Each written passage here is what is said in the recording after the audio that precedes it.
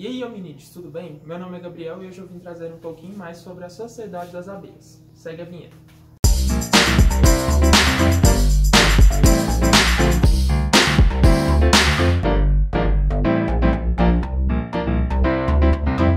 A colônia e a sociedade são relações ecológicas intraespecíficas, ou seja, ocorrem entre indivíduos de uma mesma espécie. Mas qual que é a diferença entre colônia e sociedade? No caso da colônia, os indivíduos que as compõem são incapazes de viver de forma isolada, ou seja, caso haja uma divisão da unidade, a colônia pode morrer. Temos como exemplo os corais e as esponjas. Outro exemplo também de colônia, só que com divisão de tarefas, são as medusas e os quinidários, que apresentam movimentação, reprodução e alimentação divididas entre regiões da colônia. No caso das sociedades, os indivíduos que as compõem são altamente capazes de viver de forma isolada, só que preferem viver em coletivo. Como exemplo, os cupins, as formigas e as abelhas. E na organização dessas sociedades são utilizados os feromônios, que são químicos que atraem ou não as abelhas, localizando o alimento, demarcação de território e organização social. Então podemos concluir que as abelhas são indivíduos que vivem em sociedade, apesar de muitos autores considerarem colônias. As abelhas são insetos que apresentam diferentes níveis de organização social. Dentre esses níveis, os mais divergentes são abelhas altamente solitárias e abelhas altamente sociais, que são conhecidas como abelhas eusociais, como é o caso da Apis e da Jataí. Entre esses dois parâmetros ainda tem outra categoria, que são as abelhas subsociais, divididas em semi ou quase sociais, que são também divididas entre ter uma rainha dominante ou não no ninho. Já no caso das abelhas solitárias, algumas espécies podem acabar fazendo ninhos agregados, só que cada um é individual. Cada um tem seu dono e cada um tem a sua fêmea que vai cuidar do seu próprio prole. Já no caso das abelhas eusociais, são formados ninhos perenes, populosos e com alto grau de organização social. Esse é o caso das abelhas sem ferrão ou abelhas indígenas, que são os meliponíneos e também é o caso das abelhas Apis mellifera. Cerca de 80% da população mundial das abelhas é solitária. Ela não produz mel, mas também não significa que ela não é relevante para a gente, porque ela produz a polinização de muitas plantas, seja no meio ambiente ou seja na agricultura. Quando ela vai buscar o seu próprio alimento, ela acaba polinizando tudo. As abelhas totalmente solitárias não apresentam divisão de tarefa no seu ninho.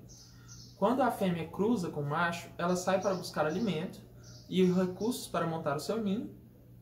E aí ela bota os ovos, monta a célula de cria e fecha a célula de cria.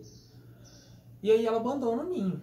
Quando as abelhas nascem, elas já vão em busca do seu próprio ninho. Em busca de coletar seus recursos, seus alimentos, e aí cada uma vive por si.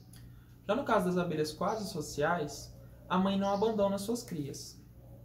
Ela fica e espera eles nascerem. Quando as abelhas nascem, elas têm duas decisões: ou elas ficam e ajudam, ou elas vão embora fazer os seus próprios ninhos. Quando elas ficam, tem a chance de uma das fêmeas pegar o papel de reprodutora, enquanto as outras se dividem e vão fazer as atividades.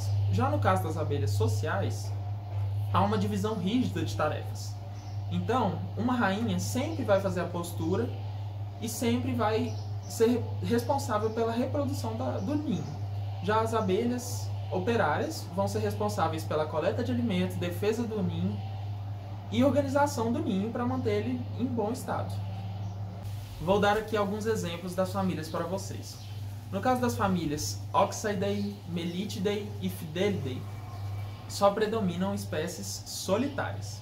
Já no caso das famílias Coletidae, Andrenidae, Alictidae Megachidae e Antophoridae existem abelhas solitárias, só que todas essas famílias predominam Todas essas famílias predominam espécies solitárias, só que todas também apresentam algum grau de sociabilidade.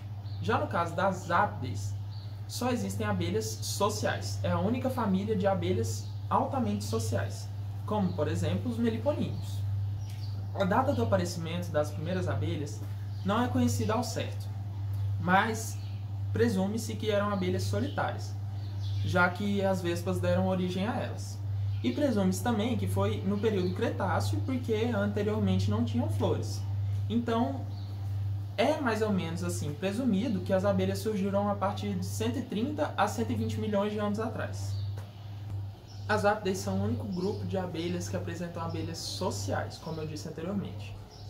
Pode ser incluído as apes, que apresentam de 60 a 80 mil indivíduos por ninho, e os meliponíneos, que são divididos em melíponas, que apresentam de 500 a 4 mil indivíduos por ninho, e as trigonas, que apresentam de 300 a 80 mil indivíduos por ninho. E para finalizar, as abelhas são divididas em castas, rainha, zangão, operária, mas isso tudo vocês vão ver no próximo vídeo. E aí pessoal, gostaram do vídeo? Não se esqueçam de deixar os comentários, se inscrever no canal e ativar o sininho de notificação para receber os próximos vídeos. E também deixe suas dúvidas aqui para a gente responder. E vem ajudar a gente a polinizar o saber e aumentar o nosso ninho. Que agora é ninho.